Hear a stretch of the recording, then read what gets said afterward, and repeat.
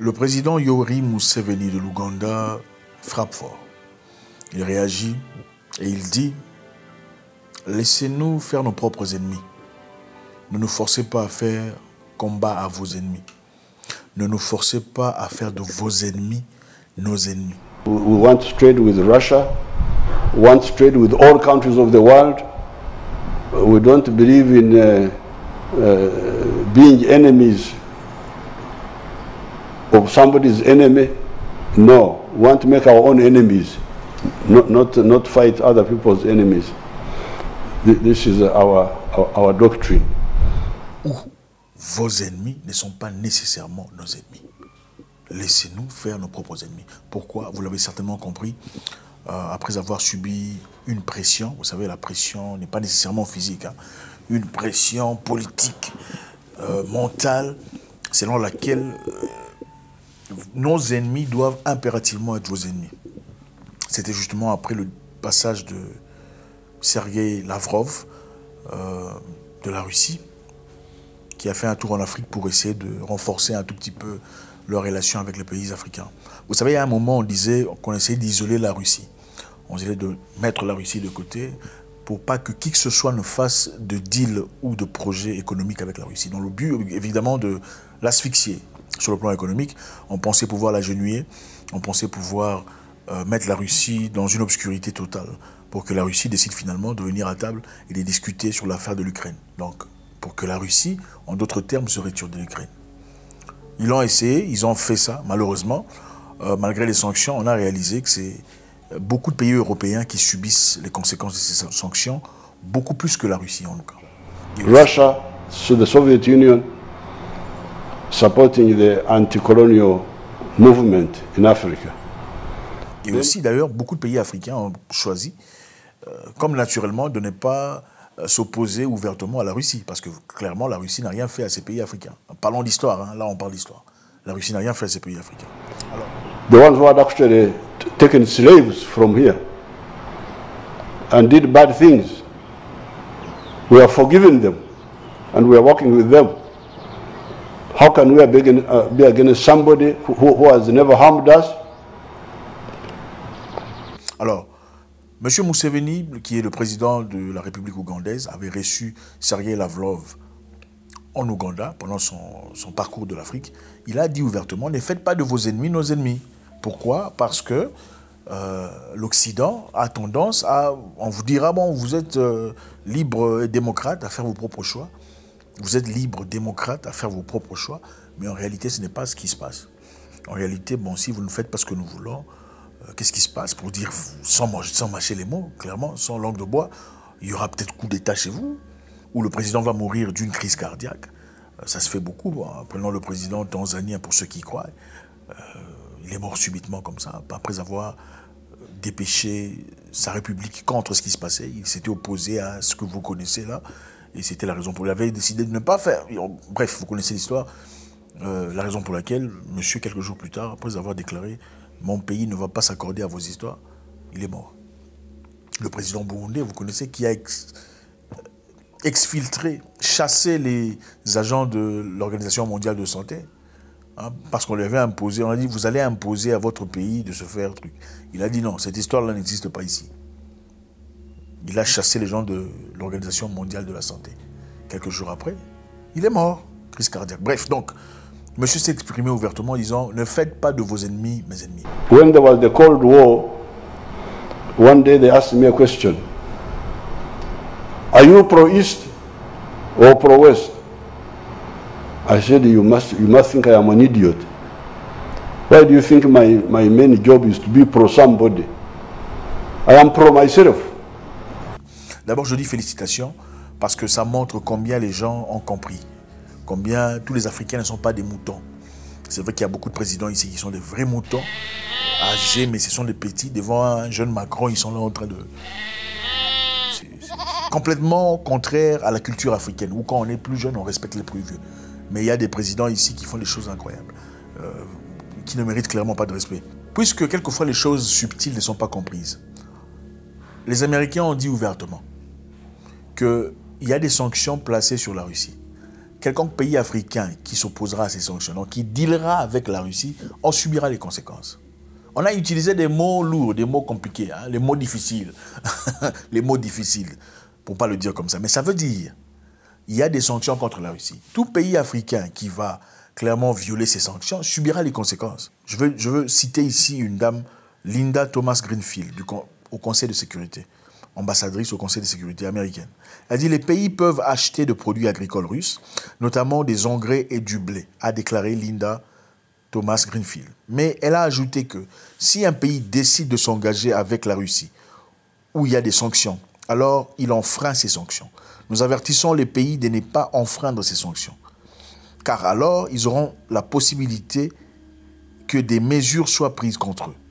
If a country decides to engage in, with Russia where there are sanctions, then they are break, breaking those sanctions. They're breaking our sanctions with other countries, and we caution countries not to break those sanctions because then, if they do, uh, they stand uh, the chance of having uh, uh, uh, actions taken against them for, for breaking.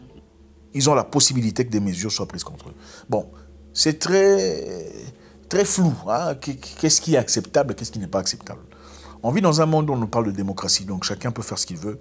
D'ailleurs, on disait l'Ukraine a le droit de faire partie de l'OTAN. L'Ukraine est un pays souverain, il a tout ce droit-là. Mais curieusement, euh, quand il s'agit d'autres pays qui veulent faire ce qu'ils veulent faire avec d'autres pays, là, c'est pas, là, on ne plus pas les mêmes, euh, les mêmes règles de démocratie. N'est-ce pas que la démocratie est censée être la liberté d'expression, la liberté de dealer avec qui on veut? Bon, maintenant, si on veut dealer avec qui on veut, on nous vous pouvez dealer avec qui vous voulez. Mais bon, sachez que euh, si vous ne dealez pas correctement comme on veut, il y aura des sanctions. C'est ça la démocratie? Sommes-nous vraiment libres Autant que nous souhaitons le croire? C'est une bonne question à se poser. Vous savez, il y a longtemps, Idi Amin avait dit au président africain, je pense qu'il qu serait essentiel qu'à chaque fois qu'il y a un problème dans un pays voisin, d'envoyer une mission des militaires africains pour aller trouver des solutions. Donc s'il y a rébellion ou il y a quoi que ce soit, il y a insécurité dans un pays, envoyez un groupe de militaires africains pour aller trouver des solutions dans ces pays. Et pas des militaires étrangers. Pas des militaires européens ou américains pour résoudre des problèmes africains. Beaucoup s'en sont moqués. Évidemment, on a donné une image à Idi Amin, une image de dictateur, de tueur, de massacreur. On n'a pas dit combien il était intelligent. On n'a pas dit combien Idi Amin voulait simplement le progrès de son pays. Parce que la réalité d'Idi Amin, pour ceux qui ne savent pas, Idi Amin, Dada, qui a été peint comme un meurtrier, un tueur, un dictateur, est une personne qui a pris les pouvoirs de l'Ouganda euh, et a décidé de reprendre le pouvoir économique pour son pays. Pourquoi? Parce que dans son pays à cette époque-là, le pays était quasiment dirigé par les Indiens. D'où sont venus les Indiens? Les Indiens étaient importés par des Anglais à l'époque pour bâtir le rail de train venant de Mombasa à Kampala, en Ouganda. Je ne sais pas pourquoi ils n'ont pas pris d'Africains pour bâtir ce, rail de train. On est parti en, Inde pour chercher des Indiens pour construire ce rail de train. Alors ces Indiens, après avoir fini leur travail, beaucoup sont restés, ils ne sont pas partis. Et c'est eux qui ont dirigé le pays. C'est eux qui avaient l'économie du pays, c'est eux qui avaient les finances, les commerces. Ils se sont déclarés ougandais, on les a acceptés, comme évidemment les Noirs acceptent toujours des gens. Mais qu'est-ce qui s'est passé après? Après avoir obtenu leur identification ougandaise, ils ont quand même gardé leur culture. Ils ont quand même gardé leurs endroits.